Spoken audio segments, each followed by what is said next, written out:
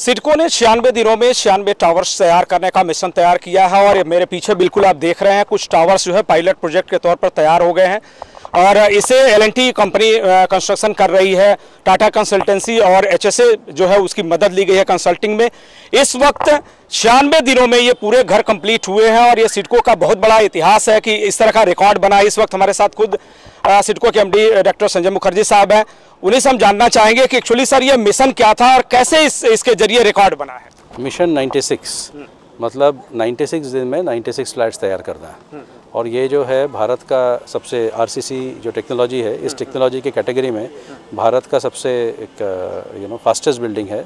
और as I always say arguably क्योंकि इसका तो अभी कोई ऑथेंटिकली देखा नहीं गया पर शायद विश्व में भी it will be among the fastest building that is ever been made CIDCO mega housing project चला रही है लाखों घर बनाए जा रहे हैं। क्या इस टेक्निक को आगे भी इसका उपयोग किया जाएगा ताकि घर जल्दी बने और लोगों को जल्दी डिलीवरी हो हाँ इस टेक्निक का आगे भी उपयोग किया जाएगा।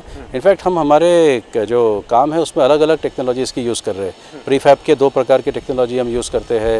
और माइवान का अलग टेक्नोलॉजी हम यूज़ करते हैं। तो इस प्रकार से अलग अलग टेक्नोलॉजी इसको यूज़ कर रहे हैं। एक प्रॉपर मिक्स ऑफ़ टेक्नोलॉजी दे रहे हैं। ये जो प्रीफैब का टेक्नोलॉजी हमने यूज़ किया है तो इसमें बहुत सारे फ्लैट्स बनाए जाएँगे।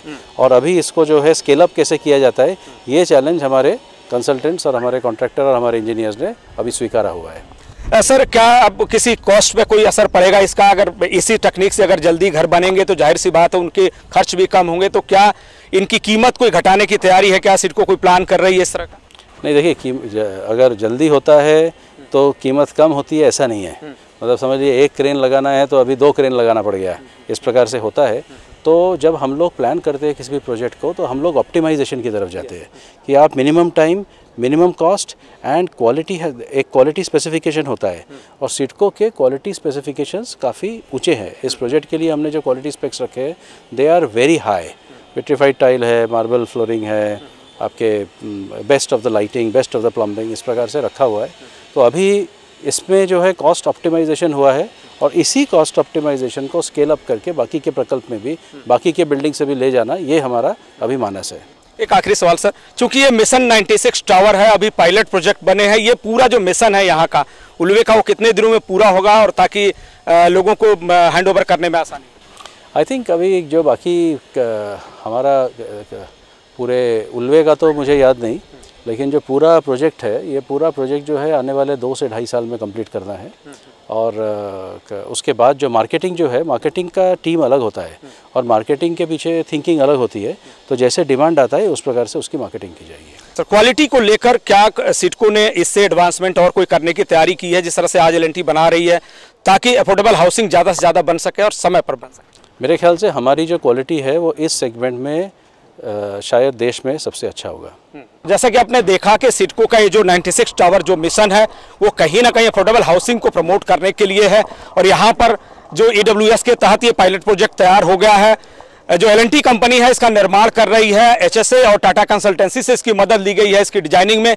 और लगभग ये देखिए आप, आप मेरे सामने पीछे देख सकते हैं कि 96 जो फ्लैट्स हैं, वो अभी तैयार हो चुके हैं और 96 दिनों मतलब छियानवे दिनों में 100 दिनों से भी कम समय में इन घरों को तैयार किया गया। और ज़ाहिर सी बात है, जैसा कि सिटको एमडी ने खुद कहा कि तैयारी इस तरह की है कि इसको और स्केलअप किया जाए। इसी टेक्निक का जो प्री प्री फेब्रिकेटेड जो टेक्निक है ताकि सारी चीज़ें रेडीमेड लाई जाएँगी और यहाँ पर सिर्फ़ उसको असम्बल किया जाएगा। इस तरह की ये तकनीक के ज़रिए ये मेगा हाउसिंग जो प्रोजेक्ट है, सिडको का चल रहा है और इसके ज़रिए ये कोशिश है कि जो अफोर्डेबल हाउसिंग है, सिडको के जो हाउसिंग प्रोजेक्ट्स हैं, वो जल्दी तैयार हों ताकि जो लोग भी उसके ज़रूरतमंद जो लोग हैं घरों के, उन्हें जल्दी उसका पोजेशन दिया जा सके।